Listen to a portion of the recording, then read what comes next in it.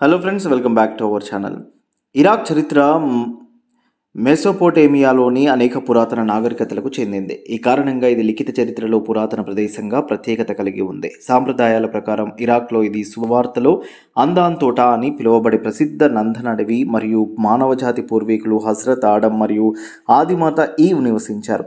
ఇరాక్ను సామ్రాజ్యాల శిథిలాలు అని కూడా పిలుస్తారు. ఎందుకంటే ఇక్కడ అనేక సామ్రాజ్యాలు జన్మించాయి. పువ్వులు వర్ధిల్లాయి మరియు దుమ్ములో కలిసిపోయాయి. ప్రపంచంలోని రెండు గొప్ప నదులు దాజ్లా మరియు యూఫ్రటీస్ ఇరాక్ను అందంగా చేస్తాయి ఇవి గల్ఫ్ ఆఫ్ ఇరాన్ నుండి వంద మైళ్ళ ఎత్తులో కలుస్తాయి. మరియు వాటి కలయికలను శతల అరబ్ అని పిలుస్తారు.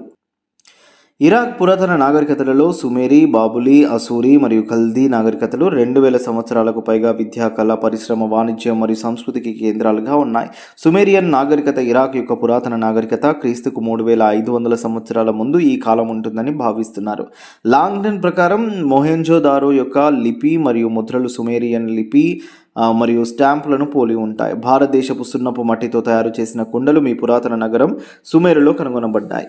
ఏనుగులు ఖడ్గమృగాలుగా ఆవిర్భవించిన సింధ్ నాగరికతకు చెందిన గుండ్రని ముద్ర ఇరాక్లోని పురాతన నగరం అష్కునాలో కనుగొనబడింది. ఇక మొహంజాదారాలో చెక్కిన వృషభ విగ్రహం సుమేరియన్ల పవిత్ర వృషభ రాశిని కలిసి కలుస్తుంది.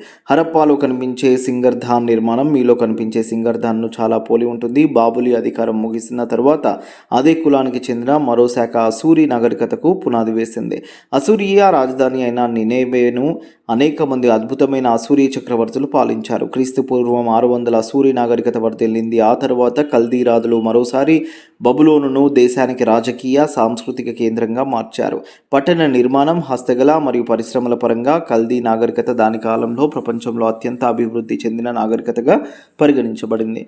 ఇక ఖలీల కాలంలో నిర్మించిన సెలెస్టియల్ గార్డెన్ ప్రపంచంలోని ఏడు అద్భుతాలలో ఒకటిగా పరిగణించబడుతుంది. యాజ్దీలు Iraq Syria Germany Armenia Russia నివాసితులు.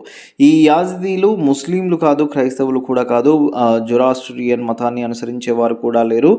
వారికి సొంత యాజిదీ ఆరాధన ఉంది కానీ ఈ వర్గం హిందూ మతానికి చాలా దగ్గరగా కనిపిస్తుంది. చాలా మంది పరిశోధకులు ఈ యాజిదీ ఆరాధనను పశ్చిమాసియాలోని హిందువుల కోల్పోయిన ఆరాధన అని పిలిచారు. యాజిదీల స్థిర జనాభా గురించి భిన్నాభిప్రాయాలు ఉన్నాయి. చాలామంది అభిప్రాయం ప్రకారం ఈ తెగకు చెందిన ప్రజలు సంఖ్య పదిహేను లక్షలు. ఈ తెగను అనుసరించే ప్రజలు ప్రధానంగా ఇరాక్ మరియు సిరియాలో నివసిస్తున్నారు. ఈ యాజ్దీల ప్రార్థనా స్థలాలు ఖచ్చితంగా హిందూ దేవాలయాలను పోలి ఉంటాయి. వారి దేవాలయాలపై పాముల చిత్రాలు చెక్కబడ్డాయి. మరి ముఖ్యంగా యాజిదీ ప్రజల పవిత్ర గుర్తులలో రెక్కలతో నృత్యం చేసే నెమలి ప్రముఖమైనది ఇరాక్ సిరియా వంటి ఏ దేశంలోనూ నెమలి జంతువులు కనిపించవని గమనించడం ముఖ్యం.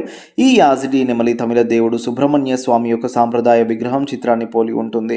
హిందువుల మాదిరిగానే వారి సమయ దీపాలు వెలిగించడం మహిళల నుదుటిపై స్వచ్ఛత యొక్క బిందు పునర్జన్మలో వారి భక్తి మొదలైనవి యాజిదీలలో అనేక హిందూ ఆచారాలలో స్పష్టంగా కనిపిస్తాయి. హిందువుల మాదిరిగానే వారు కూడా చేతులు జోడించి దేవునికి నమస్కరిస్తారు. హిందువుల మాదిరిగానే వారు కూడా యజ్ఞం చేస్తారు. హిందువుల మాదిరిగా పూజలు చేస్తారు. హారతి తాళీలు తయారు చేస్తారు. ఈ రెండు సంస్కృతులలో ఇలాంటి అనేక సారూప్యతలు కనిపిస్తాయి. కొంతమంది దీనిని అర్థం ఏమిటంటే చాలా గొప్ప మరియు గొప్ప హిందూ వైదిక సంస్కృతి యొక్క వాహకాలు అయిన ఈ సమూహాలు రెండు నుండి మూడు వేల సంవత్సరాల క్రితం ప్రపంచంలోని వివిధ ప్రాంతాలకు వివిధ కారణాల వల్ల వలస వెళ్ళాయి. కొంతమంది ప్రజలు చుట్టుపక్కల పరిస్థితి మరియు పర్యావరణంతో సర్దుబాటు చేసుకున్నారు. మరియు ఏదో ఒక విధంగా తమ సంస్కృతిని కాపాడుకున్నారు. మరియు అదే సమయంలో కొన్ని సంఘాలు తమ సంస్కృతిని చాలా చెక్కు చెదరకుండా ఉంచాయి. చూసారు కదా? వీడియో నచ్చితే please do like share and subscribe.